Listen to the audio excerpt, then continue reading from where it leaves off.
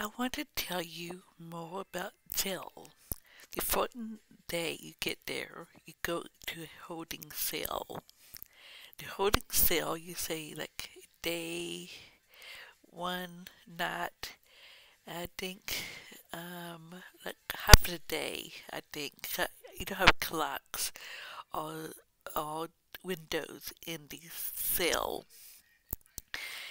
and you go and you in holding cell first.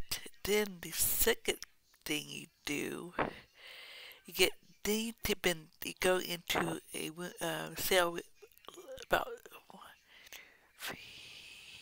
about four bunks, beds, and um, so you sleep eight, or or eight or six or something, something like that. I think six maybe. No, four. Yeah, eight. And then you get like um um like a pad, a, magnet pad, and um not magnet pad, um a um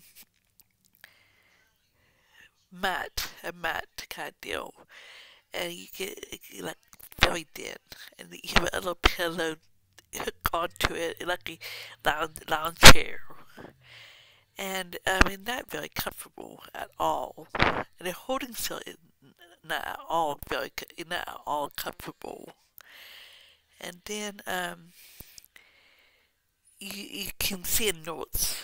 I saw notes two times for the, the few days the few days I was there.